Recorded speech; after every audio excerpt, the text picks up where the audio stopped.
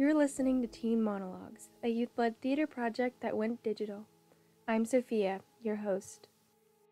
In this episode, our monologues will focus on identity. Identity is all the ways we answer the question of who we are. And identity often shines through in the places where we are challenged or questioned by others. We'll hear from three students this week who wrote monologues around identity. Up first, we have Parker, who wrote a monologue about exploring their gender identity with the help of the internet.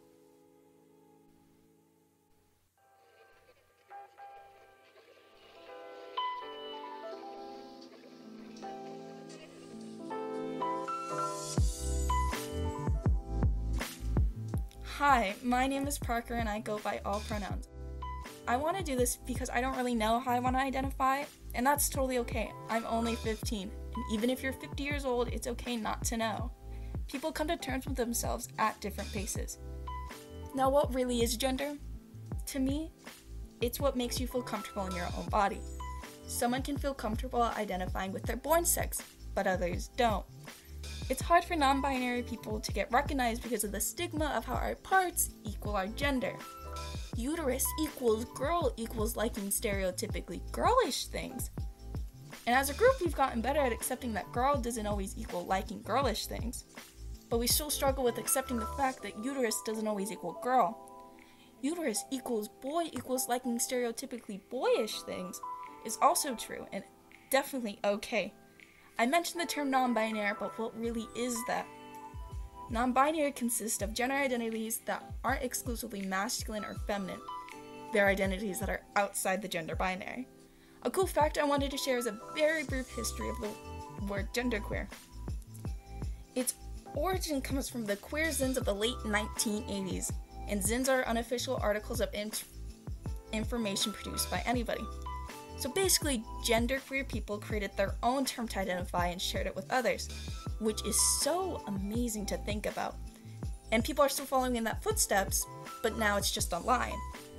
I don't really know how I want to identify or who I am now, but that's totally okay.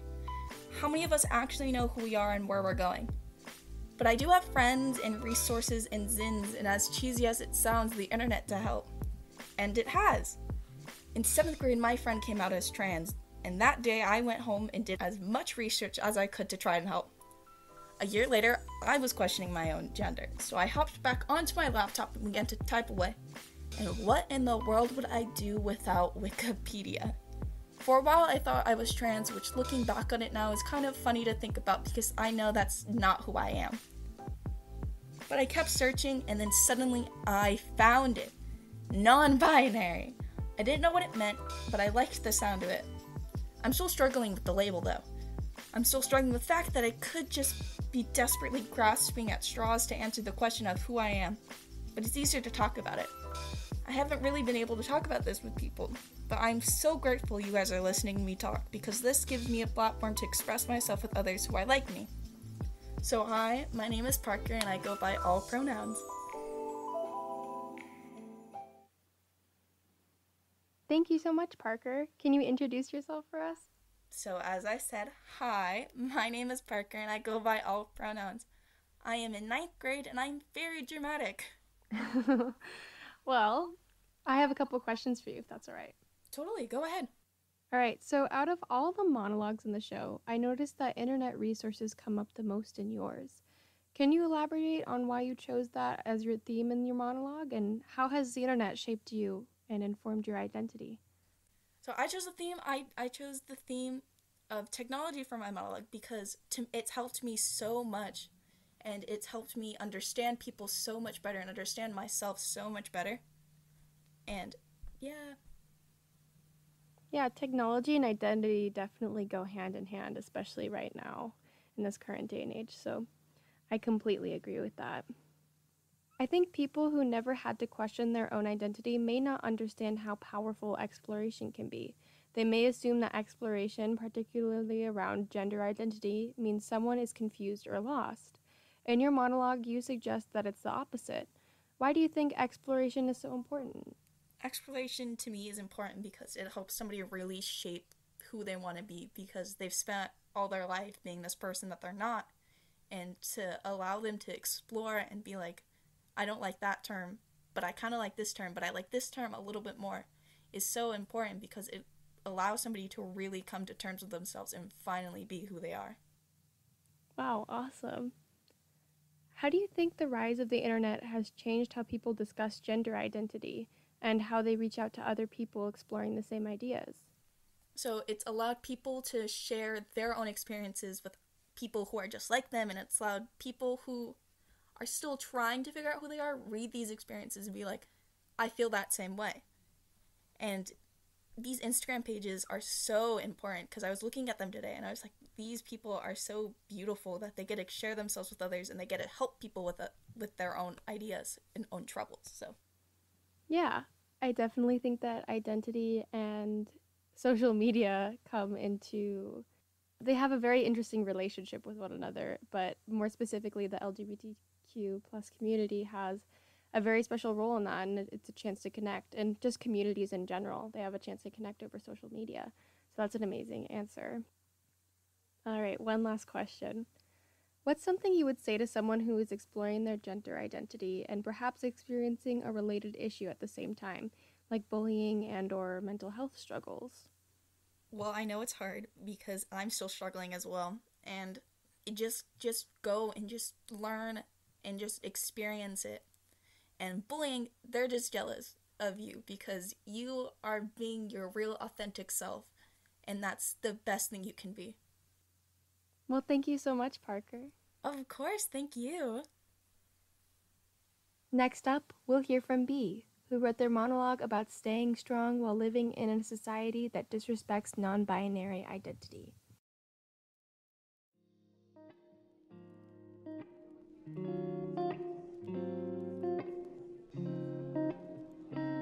So there's this girl, and she's pretty special to me. I think about her a lot. She makes me feel feelings I didn't even know existed. The way she makes me feel is indescribable. Man, you have no idea. Let me try to put it into words. She makes me feel like. like. like shit. We were talking the other day, like we usually do. We talk all the time. But this time, things were different. You see, this was the day after I came out to her, and I don't know why, but I just assumed that things would be different. I incorrectly assumed that she would try to give me even the slightest bit of respect. So we were talking, and she kept calling me she.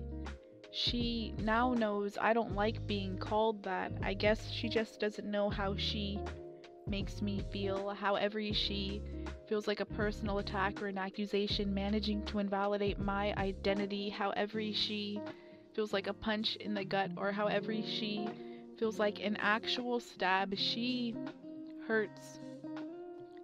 I used to get asked a lot, so you're a girl, right?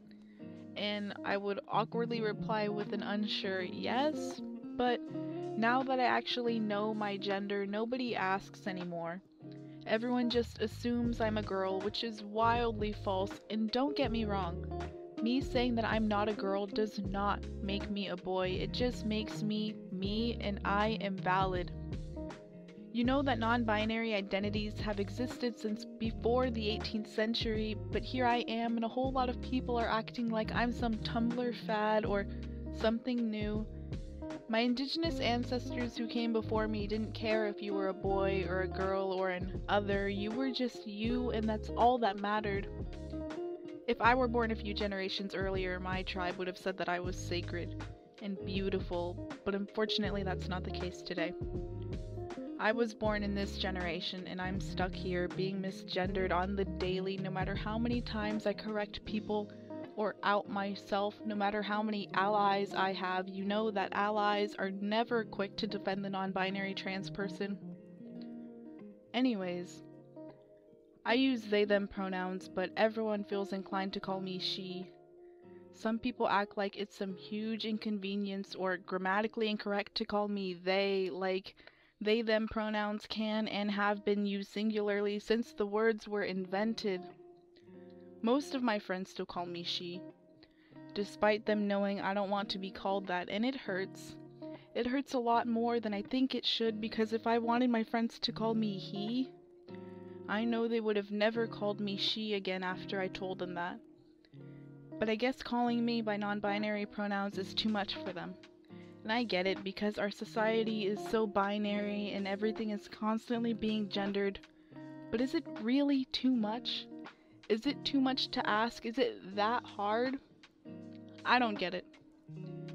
Anyways, I'm non binary and I am valid, and I have to tell myself that every single day because nobody else will. Thanks for listening. For once. Wow, thank you, B. If you could, tell us a little bit about yourself. My name is B. I use they them pronouns. I'm in the 12th grade and I'm non binary. Awesome. Thank you so much. If that's okay, we have a couple questions for you. You wrote this last year to read for our theater production as one of a couple options, but we ended up going with a different monologue for you to read in last year's production. How did it feel to finally be able to read something you've kept in the archives for a while? It feels amazing to finally be able to read this piece because it's my favorite thing I've ever written, and it feels great to finally put it out there to the world. Yeah, that's awesome. The sense that I get from your monologue is that you're almost writing to this person who keeps misgendering you. What would you wish you could say to them, and how did it feel to do that? I wish I could tell them how much they're hurting me and how much pain they cause me, and it would be really empowering to finally do that. Yeah, and in your monologue, you kind of did in a way, which I think is awesome. Um, towards the end of the monologue, you said that if you had transitioned to a male gender identity, people would be more respectful of that transition. Why do you think that's the case? I think that would be the case because of how binary gender is in society. Everything is so black and white that if I were if I were one or the other, if I were a man or a woman, I would be more respected in my identity. Yeah. You mentioned that your ancestors would have considered your identity to be sacred and beautiful in the monologue. Can you tell us more about that concept? Well, in indigenous cultures, a third gender identity has typically been a thing in most communities, and two spirit identities are considered sacred and beautiful in those cultures. In your monologue, you say that you tell yourself every day that you're valid. What is your process in doing that? I'm asking because I think that that's a skill probably a lot of us need and a reminder that, you know, we're good enough. How do you take care of yourself when you're being misgendered? When I'm being misgendered, I mostly ignore it because it's something that happens literally every day and that will probably always happen. But when the my process of telling myself that I'm valid is literally me standing in the bathroom looking in the mirror and telling myself that I'm valid. Well, awesome. You are valid, B, and thank you. No problem. And lastly, we have a poem written by Oscar about their experiences as an immigrant.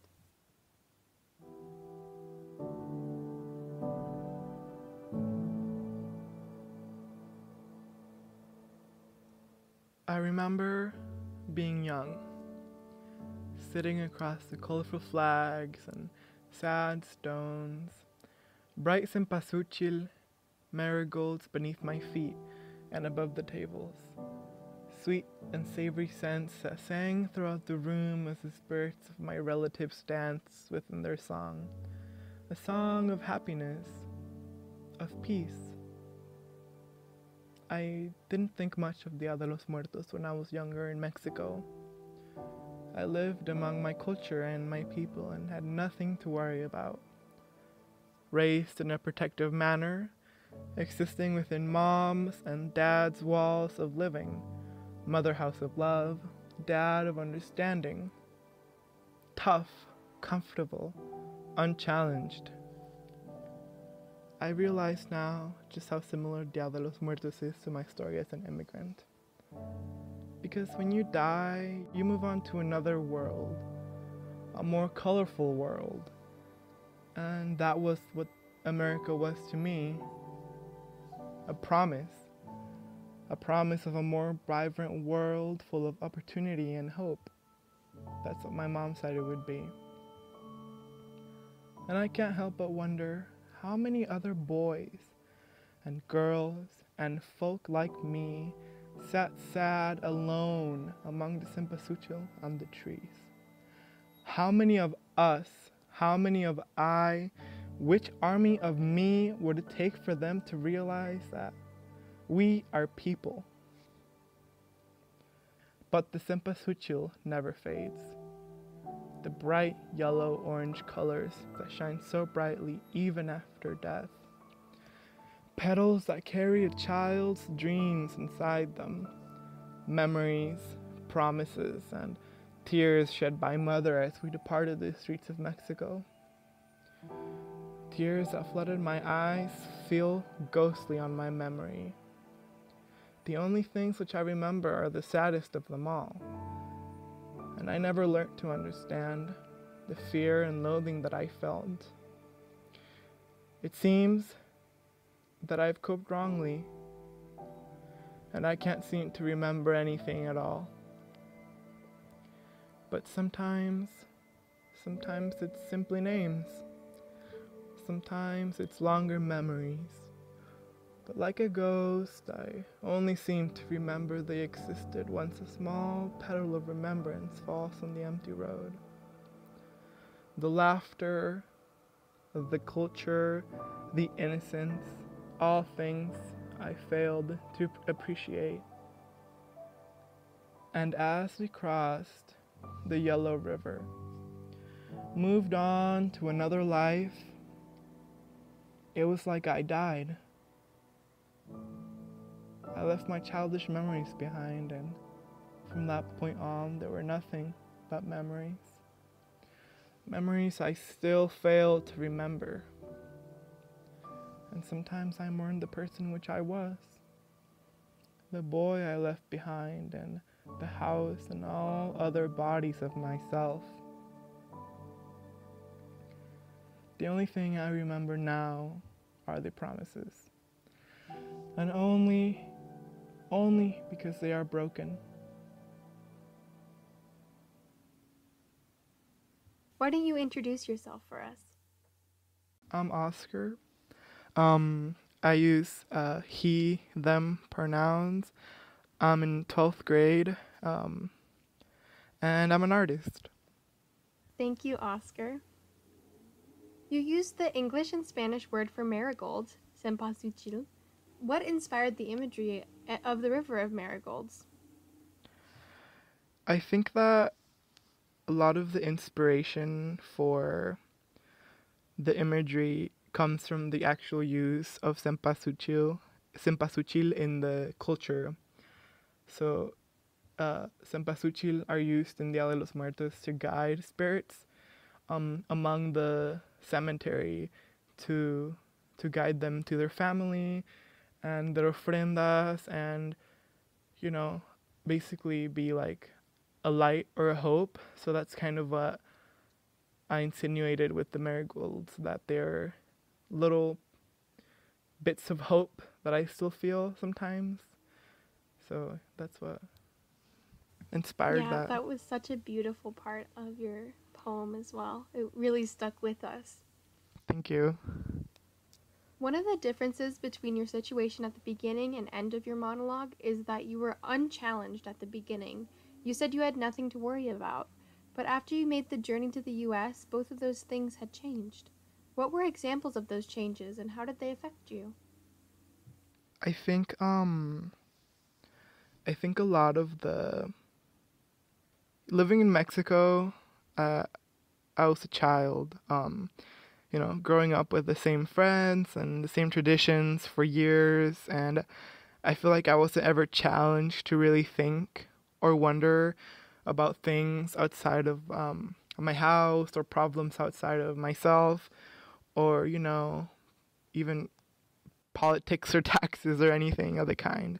Um, it was like sometimes the I feel that my immigration made me mature a lot in the sense that I had to like quickly understand that, you know, sometimes people like me are not welcomed or sometimes, you know, there's a lot of political issues that influence me and my family. So I think that's a big part of my of my writing, um, understanding that I kind of grew up a lot during this process, obviously, and literally.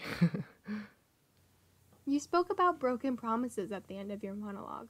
What were those promises, and how were they broken? Um, right. So, I feel like the promises refer to the American dream. Um, this idea that once here, um, it's a perfect land or a perfect place, or there's more opportunities for for us, or that basically things here are better. Um, I understand that the way that a lot of immigrants feel when coming here, it's completely different from what was promised or what was glamorized in Hollywood, and that we're not always welcome here, sadly, or that we're not always wanted. so it's that idea that we are and that they life here is instantly better when it's not. So that's what I refer to when I say the broken promises. Well, thank you. Yeah, that's really important, I think, to recognize is that we all have a different level of privilege. Yeah, exactly. Do you have a message for the boys and girls and folks like you, the people who have crossed between worlds? Yeah. Um, when I first came here, or when I first got here, um, you know, at such a young age, I was, I think, what, 12 years old. It, I felt a huge disconnect to, to my home, and to here, and you know the, the sudden switch of, of life like that for for me was like super hard to deal with and I felt super alone and I felt like again that I wasn't welcome here or that my family shouldn't be here or that I should be back home and even sometimes like going back home I feel like as I grew used to life here I didn't feel welcome back at home back in Mexico I felt like people were like oh you know, the gringo, or people always try to diminish my experiences because I was no longer someone who lived in Mexico.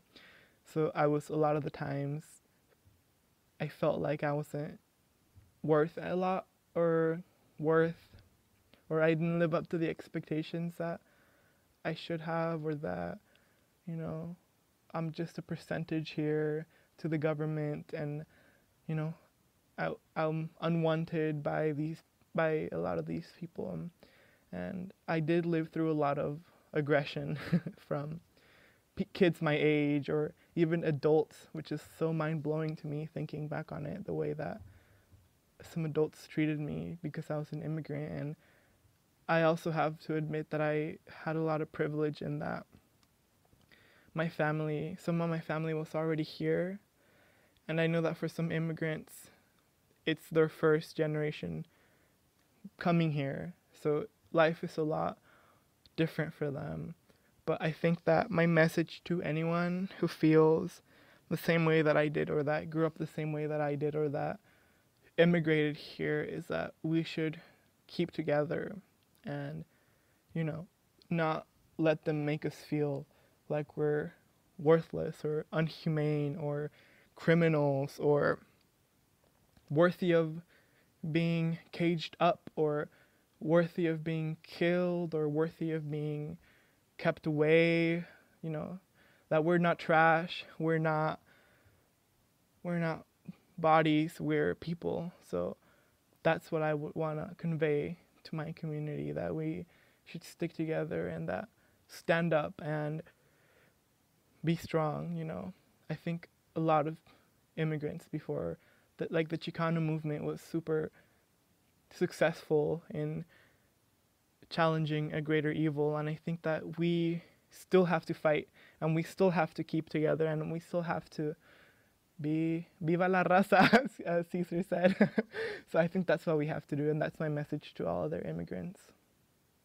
Wow, thank you so much, Oscar. That was very powerful. Thank you.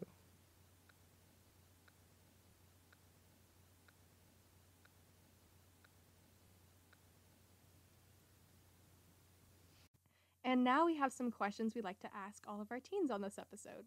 So, first off, I'd like to ask you guys what inspired you all to join TM? Parker, we'll start with you. So, one thing that inspired me to join Teen Monologues was the chance to get to meet all these people and just get to learn people's experience. And it's a way to allow myself to be creative. And so that was one of the main reasons why I really wanted to join this program. Awesome. Thank you so much. Uh, B, what uh, what inspired you to join TM? Well, what inspired me is that I saw it as a as an opportunity to express myself and talk about issues that I care about. Yeah, that's awesome. I think TM totally gives that um, opportunity for people to speak their voices. Oscar, what inspired you to join TM?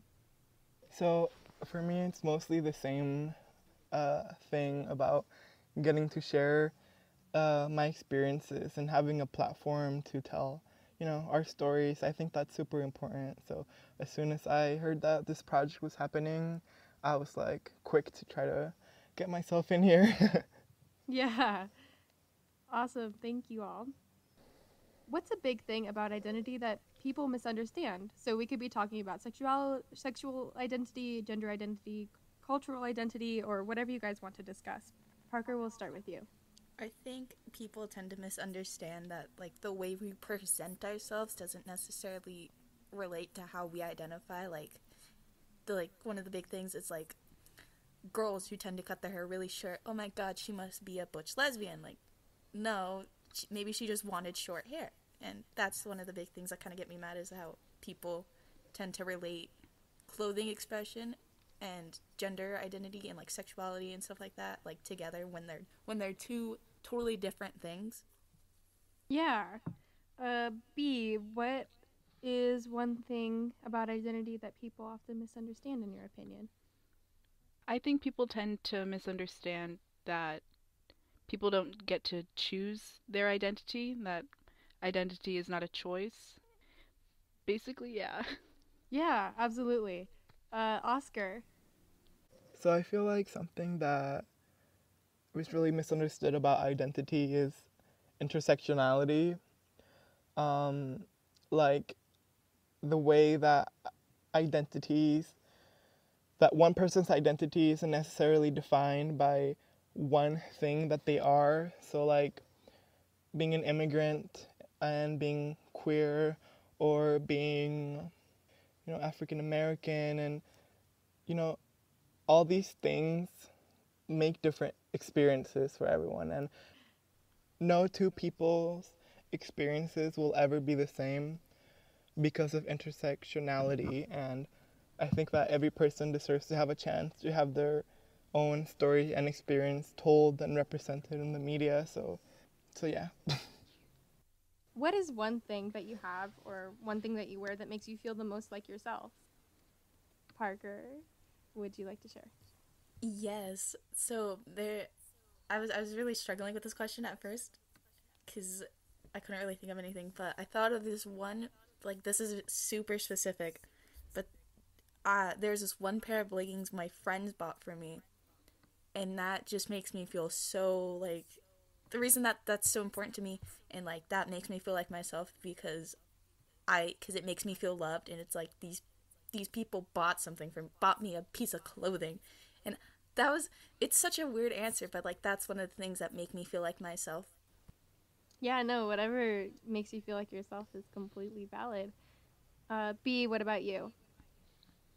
For me it would be the pins and buttons i have on my backpack because i take them with me everywhere and they're all pretty pretty unique i would say. They're all really important to me because i've gotten them at pride events or gifts from friends. So they they hold a special place in my heart. Yeah, I feel that. Um, Oscar, is there a thing that you have or a thing that you wear that makes you feel the most like yourself? Yeah, um, I think that clothing is definitely what makes me feel more like my, most like myself. Um, it's not always necessarily um, groundbreaking, but Yeah. you know, being able to just you know wear whatever, like put whatever I want on my body, it's like it's it feels very freeing. Like no one else has control over that, and I just don't. It feels like I can express myself without really saying anything, and I don't know. It just makes me feel good. Yeah, exactly. Like it doesn't even even have to be a certain thing that is an item of clothing or anything. I mean, for me, it's um I have this little Kermit that my friend gave me. Um, and it's just like this little stuffed Kermit, and it's in my um, Instagram profile picture, um, along with another Kermit that we met at Disneyland, which I thought was cool. But Kermit currently sits buckled in the back seat of my car, just because you know he has to, you know, safety first. So like yeah definitely it's just a little dorky thing that i have that totally makes me feel like myself so that is 100% valid b and parker talked a lot about how other people view them. Stereotypes such as tumblr fads have been mentioned around gender identity. The internet sometimes gives only one perspective on a group of people when there are many more to consider. Can any of you think of a stereotype you faced and how it impacted you? Parker uh, we'll start with you. So, in like seventh, eightish grade, there's these kids who I did not like who'd always call me gay and be like, "That's the weird gay girl," which didn't make sense because they were like eleven, and I I didn't really understand why they were calling me that. But then I got to the point where I started accepting more about my sexuality and who I am, and I kind of took that term from them that they that they tried to like target me with, and I turned it into something that was powerful and be like, yeah, I'm gay. What do you want to do about it? Yes, that's what I like to hear. um, that's awesome. Uh, B, can you think of a stereotype you faced and how it impacted you?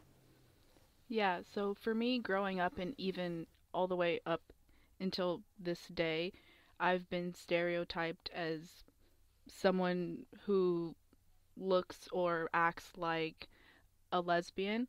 And because so many people have always labeled me as someone who's exclusively attracted to women, I've felt the need to kind of take on that role in order to please other people.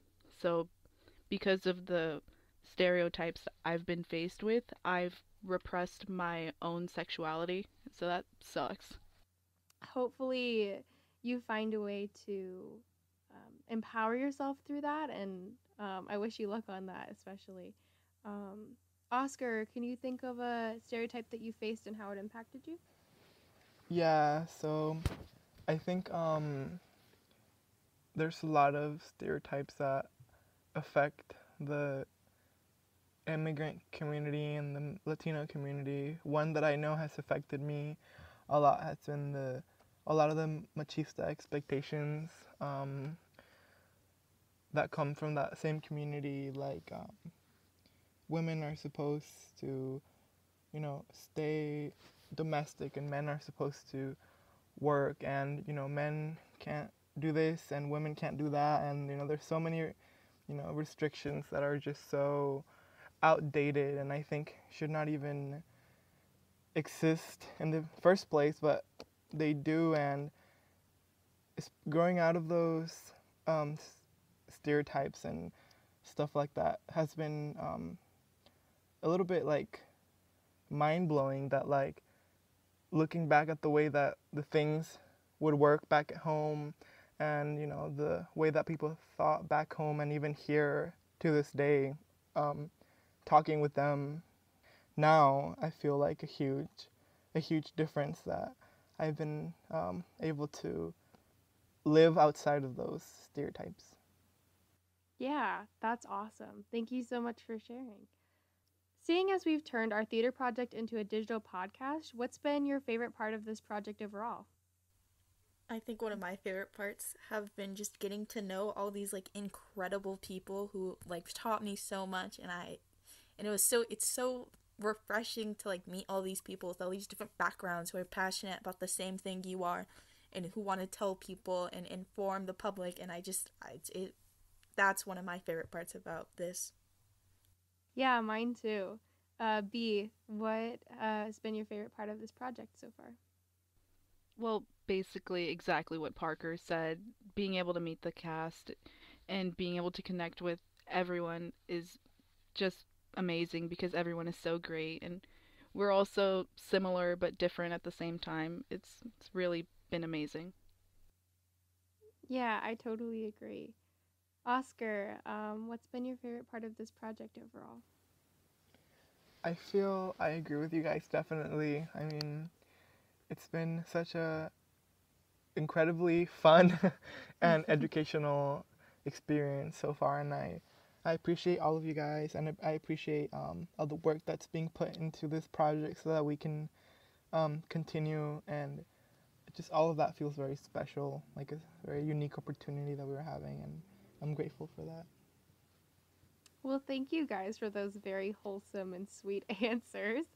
um, our last question is um, when we were rehearsing for our the original show, we got into what I would like to identify as quote unquote shenanigans this year. Um, what's the funniest thing that happened during our time together? I think it is very hard to pick just one.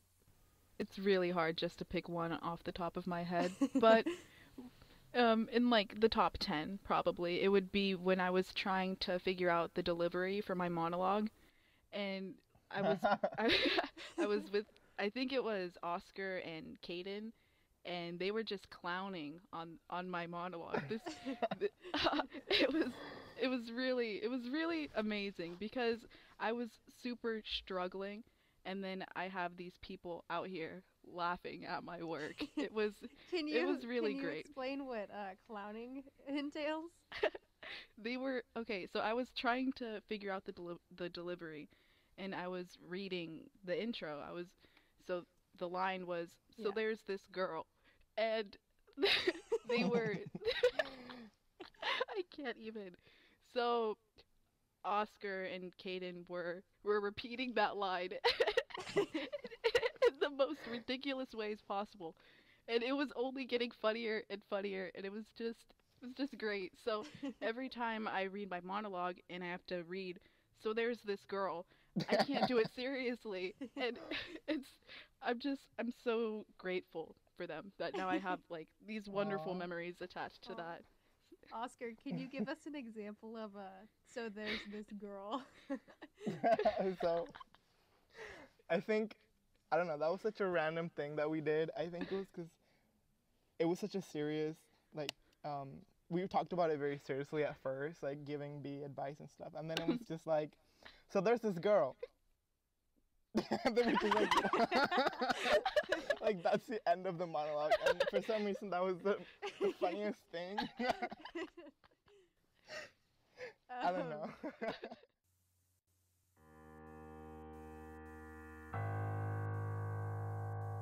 There are some kinds of identity that we are born with, while others are developed over time. Some folks are still exploring what parts of their identity feel right to them, others have found their truth. In one way or another, identity has shaped the stories of each of these three teens, and now they want to share those stories with the world. And that's what Teen Monologues is, is for a chance to be heard, a chance to share their story. Thank you, Parker, Oscar, and B, for being here with us today and giving others an opportunity to listen. That's it for today. Come back next week when our focus will be on family. Thanks for listening, and remember, our stories are what unite us. The people who helped produce and record our show include John Hollander, Sophia Longas, Emma Faye, and Danielle Mitchell. Our cover art was created by Sophie Smith. For more info on teen monologues and other projects, visit our website at teen.capslo.org or check out our Instagram at CAPSLO Teen Programs. This project was made possible by a grant from the Office of Population Affairs.